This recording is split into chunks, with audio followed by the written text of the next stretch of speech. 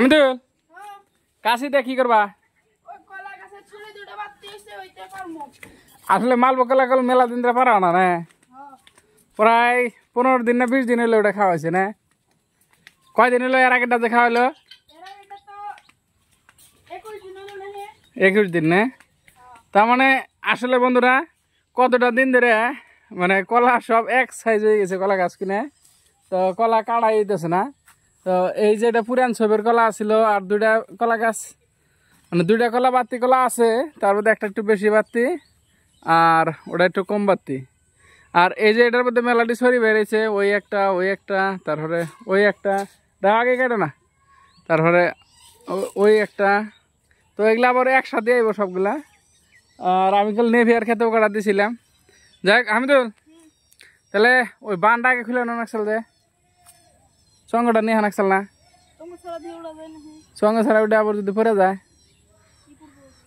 কলা গাছ। দেওয়া সরি নকল ভাজা নাকি? এই কাশি বান্ধব আর যদি নকল পাওয়া যায় তাহলে কাটা দেবো দেশে সাহস হয় কি কাটার? দেশে কাশি বাজাও কত দূর যায়? তাহলে সঙ্গে না লাগবো? আর ওই বান্ডা আছে যে। আর নইলে এই কাই থেকে পড়লে আবার বাস ভেঙে যাব গা। সঙ্গটা নিয়ে আও হ্যাঁ খুব তাড়াতাড়ি। এই যে, হামিদুল ওটা বানগুনে খুলতেছে। খুব সাবধানে খুলো হ্যাঁ? আচ্ছা অনেকেই হয়তো ভাবতে পারেন যে একটা কলার ছড়ি পারব, তাও আবার ভিডিও করা লাগে কি জন্য? তো আসলে এটার একটা মহৎ উদ্দেশ্য আছে।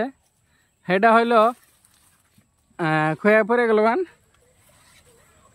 হ্যাঁ নামো নামো নামো, খুব তাড়াতাড়ি নামো, হয়ে যাব গা, পড়ছে। তো এটার একটা বহুত মহৎ উদ্দেশ্য হলো যে বাজারে গেলে অনেকেই আলোচনা করে যে মেডিসিন ছাড়া কি কলা পাওয়া যায়। তো আসলে, র র, বারে। তো বাজারে যে মেডিসিন ছাড়া কলা পাওয়াটা খুব জুলুম। এই জন্য আমরা চেষ্টা করি যে একটা দুটা কলা গাছ মানে নিজেরা কলা বুইনা কলা খাওয়ার জন্য। তো আমার ভিডিও দেখে যদি কারও উৎসাহ বাড়ে যে একটা পোয়া নিয়ে গেলাম, হয়তো আপনি যদি নিয়ে একটা পোয়া গাড়লেন নিশ্চয়ই আপনিও মেডিসিন ছাড়া কলা খেয়ে আসবেন তো তাতেই আমার স্বার্থ। কারণ আমি চাই যে সবাই ভেজাল মুক্ত বস্তু খাই, ব্যাকে সুস্থ থাকি। তো সেই জন্য আমি কিন্তু এই ছবি থেকে বহুত কটা কলা গাছের পোয়া ফিরিয়ে দিছি মানুষে হয়তো এই সময় বর্তমানে নাই, তারপরেও যদি আবারও পোয়া হয়, কারও যদি লাগে দিয়ে হারম, কোনো অসুবিধা নাই।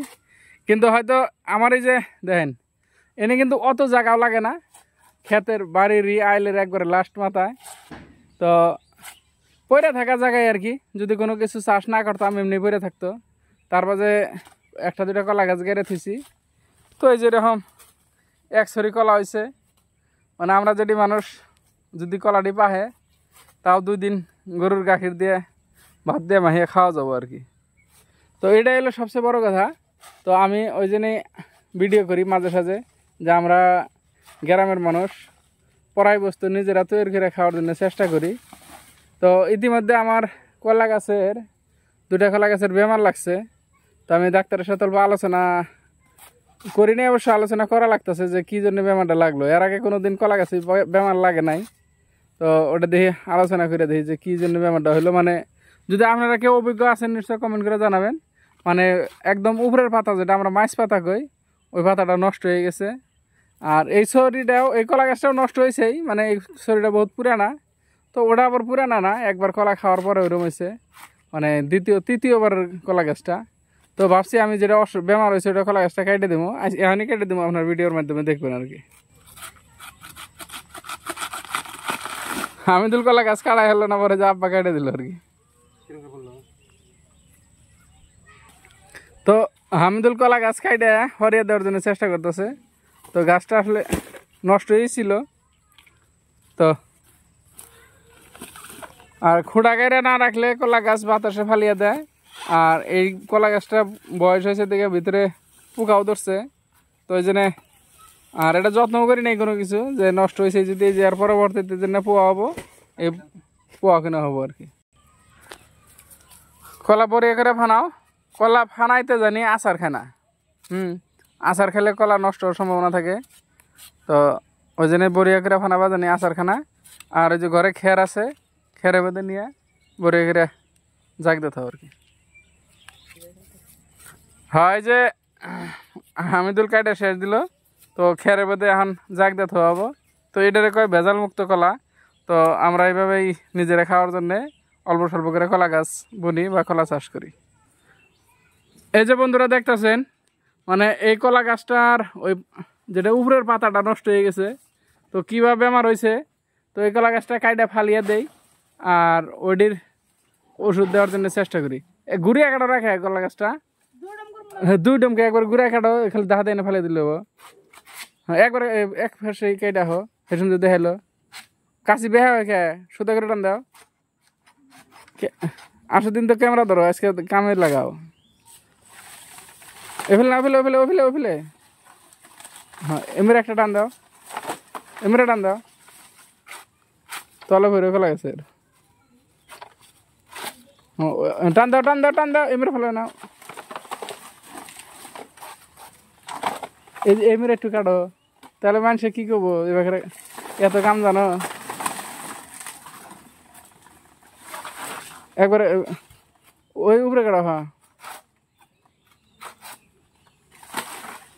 আসলে হামিদুল কাম জানে, কিন্তু ক্যামেরার সামনে দিয়ে গল্প মতো করতেছে আর কি। কাম আসলে ভালোই জানে এটা না। তো এই যে কাইটা ফালিয়ে দিল, দেখলেন? হ্যাঁ এই ছোটো পোয়াকাটা কেটে দাও একটি। হুম, বেশি কেটে দাও।